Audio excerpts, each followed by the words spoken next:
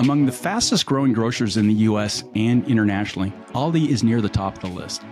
Today, it has over 11,000 stores in 20 countries and is known for its affordable prices and no frills approach to retail.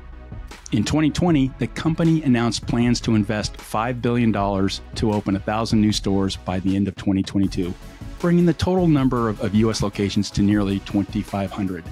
As of early 2023, Aldi has over 2,200 stores in 37 states and has become the third largest grocer in the country.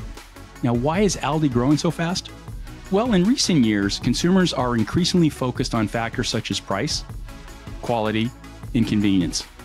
It's easier than ever to compare products and prices, and shoppers are willing to switch between grocers to get the best deal or experience. While introducing self checkout stations to their operations, Aldi is leveraging store level data to strategically determine the layout and quantity of these stations. This thoughtful, data driven approach is revolutionizing the way their customers shop, as well as the training of employees and measurement of back of house operations. It's creating an efficient ecosystem that benefits both customers and store staff, making a significant milestone in Aldi's commitment to the customer experience. Aldi's success and rapid growth highlight the evolving landscape of the grocery industry, where consumers are increasingly focused on price, quality, and convenience.